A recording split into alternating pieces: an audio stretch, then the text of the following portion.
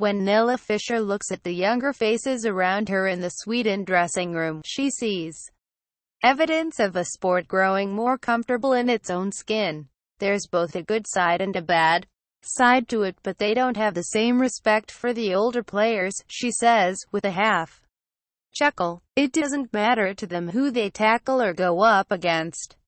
They're just focused on winning and they want to show off, in a good way. 16 and a half years have passed since Fischer, who should win her 161st cap when Sweden begin their Euro 2017 campaign against Germany on Monday, first played a senior international game.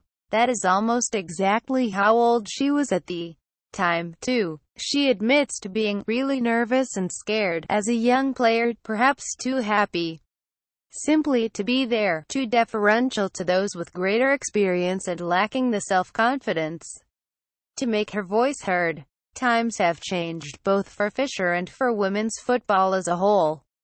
Now two weeks shy of her 33rd birthday, the Wolfsburg center-back is one of the sport's most important voices in support of gender equality and LGBT rights.